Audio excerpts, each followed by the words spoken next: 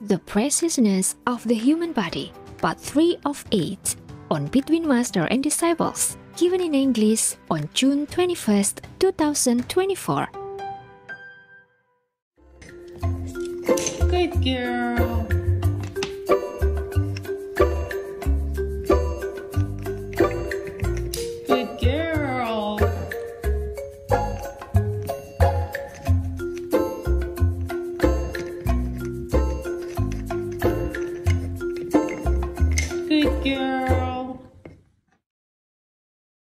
Supreme Master Ching Hai's lectures are not a complete meditation instruction. Please do not try alone. For free of charge guidance, please visit godsdirectcontact.org or contact any of our centers near you.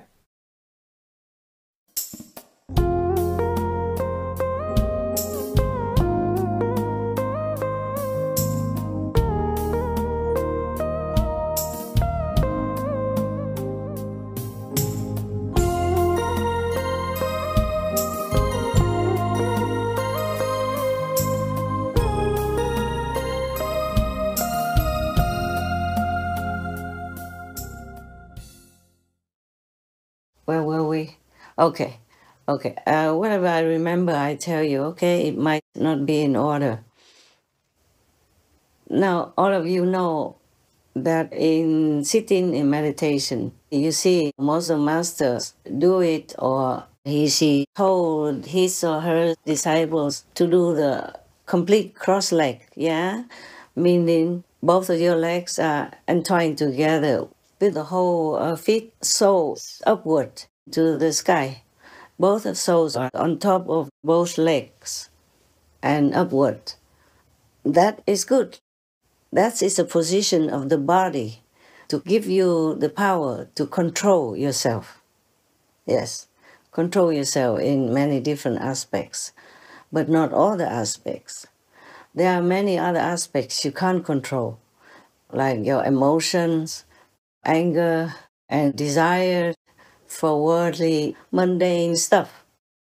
Not worthy to aspire for, just using your physical body and physical brain to work to earn your living. Yes. But if you have another kind of posture with the hand gesture together with this uh, complete cross leg, then you achieve another kind of power. I can just tell you about what you have already seen in the world. I just explained the secret to you.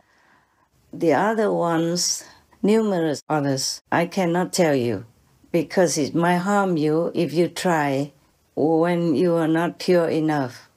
God doesn't allow it, and all the other gods and heavens will guard it well and forbid any impure person to use them.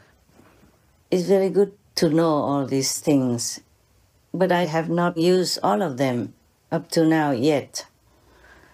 I probably have to use uh, one or couple of them maybe to help myself in this situation, but I'm still not sure if the world karma will facilitate otherwise. So there is uh, no need to worry. You know, we are born and we die one day or another. Okay? It's just that if uh, somebody is in the physical body, and if uh, God or the Buddhas have appointed that person to be an instructor of humankind and other beings on the planet, even the animal people, the trees and plants, and the stones are listening to that person. And if that person is still in the physical body, then he, she can be more connected with the physical world's beings and can teach them more efficiently, more directly. That's all, okay?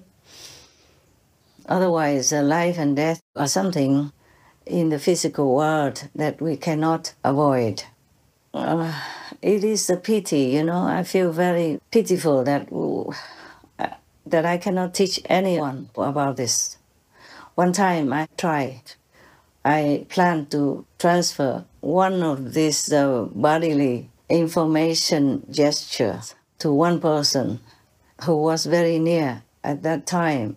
And I thought that person was able to receive it, just to try one at least, you know. But no, oh, something happened and hell got loose.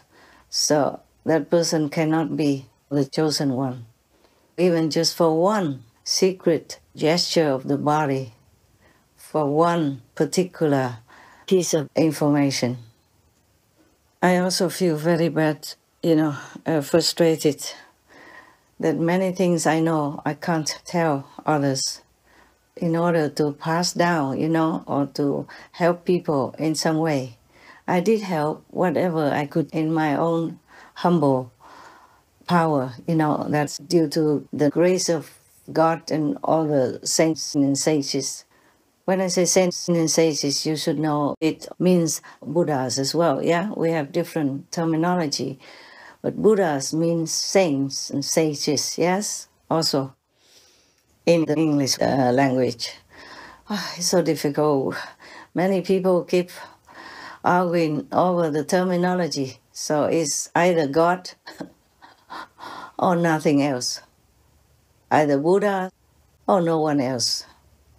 Even if the Buddha already has passed away into his nirvana 2,000 many hundred years ago. Either Jesus or everyone else, you know, is not good. Anyone else is a heretic. Ah, I can just uh, look at all the chaos, arguments, and judgments of everyone and shake my head. I just try my best what to do. You know, many are ignorant and think they know everything, but they don't even know the knowledge of one fingernail's information. All right. I just feel sorry for them also because they don't know what they are saying. They don't know what they're doing. And they offend heaven and earth and all the Buddhas by slandering the real pure practitioners, not to talk about the saints or the Buddhas who have been appointed by heaven to come down into this turbulent world to rescue beings from this suffering domain up to the higher and blissful heavens to live there for a long time or forever or become Buddha themselves, depending on where they are placed according to their merits. Very pity for these people. They don't know what awaits them, no matter what. I still try to help them and rescue them, but it's also up to God's grace and Buddha's, Masters, Bodhisattva's mercy. Okay? Not I alone. I'm just an instrument. I do my best, of course. Sacrifice whatever I can. Live in whatever condition I have to. Risk whatever danger that I'm supposed to be in. Yes, by the karma of everything I do that interferes with the world's karma. If nobody ever tells you, teaches you anything right, or if you're not sure if that person says something right to you or worships the right idols, you know, then just pray inside with all your sincerity to all the masters, meaning bodhisattvas, buddhas, to God that you will be protected. You will be led into remembering your origin through any master, real master, who can liberate your soul from the shackles of this world. Well, at least now you know why the Buddha says that the human body is that precious, that rare to attain even though I cannot demonstrate to you everything that I know about these secrets. It is often said that uh, if we are in heavens, like maybe lower heavens, then it's difficult to practice. I think because in heavens we don't have the faculty of this physical blessing within our physical bodies. Yes.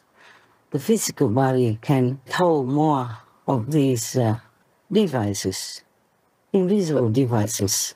I mean, the blessing is hidden within this physical flesh of human body. In the heavens, from the astral heaven upward to the third heaven of Brahma, we don't have any of this uh, physical inherited power that we have within the physical body. Perhaps that's why also in the Bible, God said that God made men, humans, always men, humans in God's own image. We can't imagine what God's image is like. But God has all this power, you see, all the creative force within God's being. And when God made humans in the same image, that means we also inherited all of God's power to a certain degree, maybe less, but still very powerful, you know, tremendous power. Perhaps for that reason, even the angels were jealous of us humans. Thus, they are trying very hard to convince God that we are nothing that much. And they try so hard all the time to test humans, to put humans through trials and tribulations, all kinds of challenges, judging humans' capability, intelligence, wisdom, and all kinds of abilities.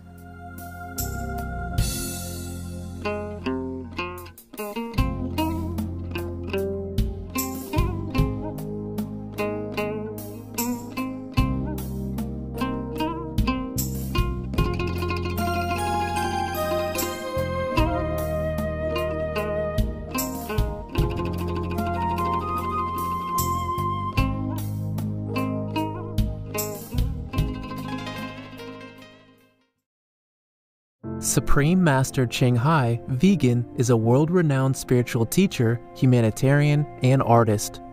To learn more about her compassionate life and teachings, please visit suprememastertv.com forward slash master.